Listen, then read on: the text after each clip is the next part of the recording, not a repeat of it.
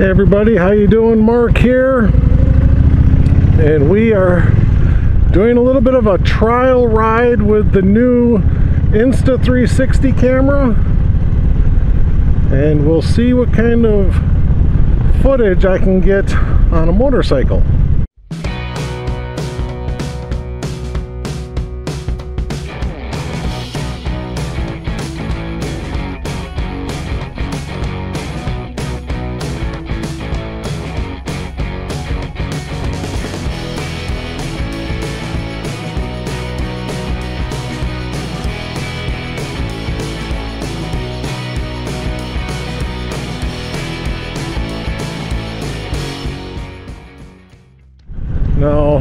One of the things that uh, I have seen with other channels as far as the uh, footage that they do. Whoa, that was a little right down there.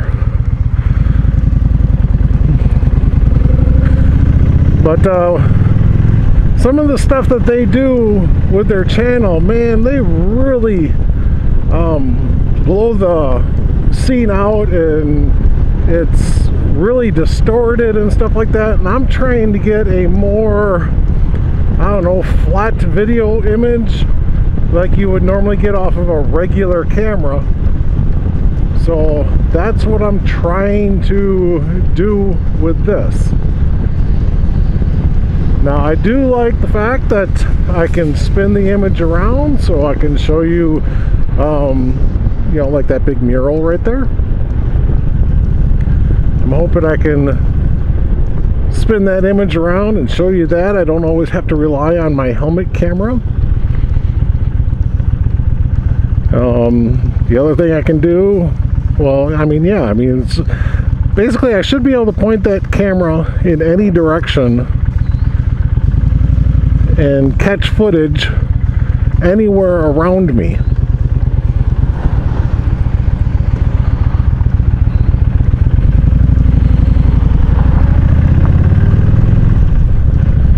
But my big thing is can I get it to look flat? I don't want all that fisheye distortion to where it's rounding the uh, uh, the edge of the image or anything like that. You know, I don't want to go past a lamp post and the lamp post starts to look bent. You know what I mean?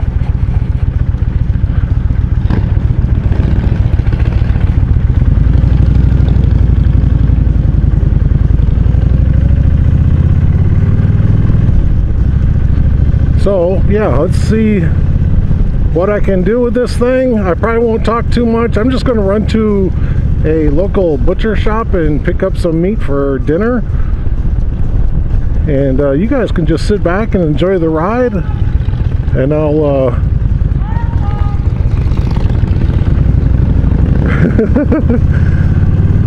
the lady pushing the cart was yelling at us. I have no idea who that was. But anyway, yeah, I'll just drive around a little bit, kind of play with the uh, um, motion aspects of the camera, and uh, hopefully it'll be kind of interesting for you guys to watch. So I'll just shut up and let you guys enjoy the ride.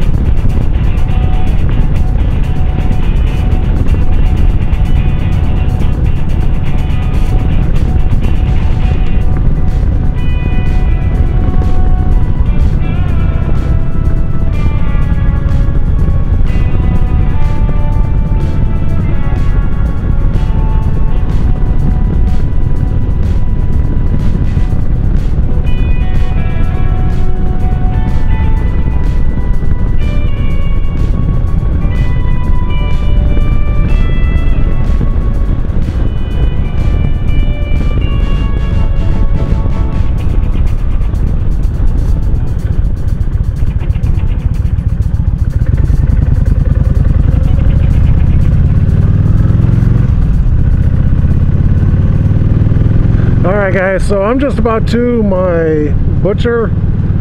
So I'm going to start wrapping up the video here. Yes, it's going to be a nice little short video. But uh, a few things I've noticed already. That camera seems to be vibrating a lot. So I'm hoping that the stabilization is good enough to take a lot of it out. I mean, just going over those little railroad tracks right there really bounced it around a lot. I went on some pretty rough roads. And I know that my uh, tires and suspension are all low on air. So I feel like I'm bouncing on a waterbed. but you know, I really think that the uh, that the image should be good. You know, I've taken the camera out on hikes already, and when I've been walking with it, the image the image stabilization has been really quite good. So I'm happy about it. So basically, you know, how do you like the footage? You know, of being able to show the side of a building and passing people or cars and stuff like that because I can actually track those movements as I'm going by. The other thing is, is I don't know if I like the camera the way it's situated like that. I don't know if I like it sticking up in the air. So I may have to play with the uh, layout of it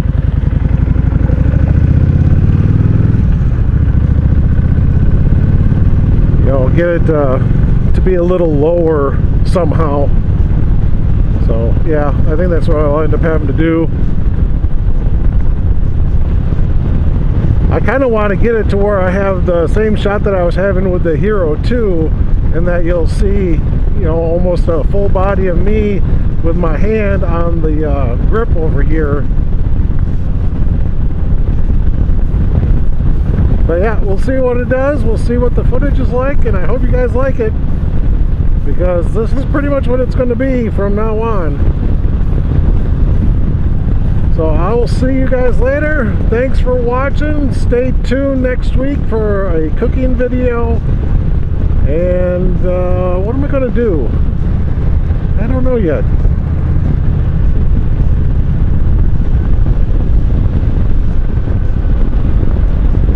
You know what sounds good? A ham sounds good. But uh, with Tim and Sam gone, and Jen really can't eat ham because of the sodium level. So instead of doing a full ham, I might just do a ham steak. That sounds good. So stick, stay tuned next week, and uh, we'll do a ham steak for dinner. That sounds good. All right, guys, thanks again for watching. I'll see you on the road. Bye.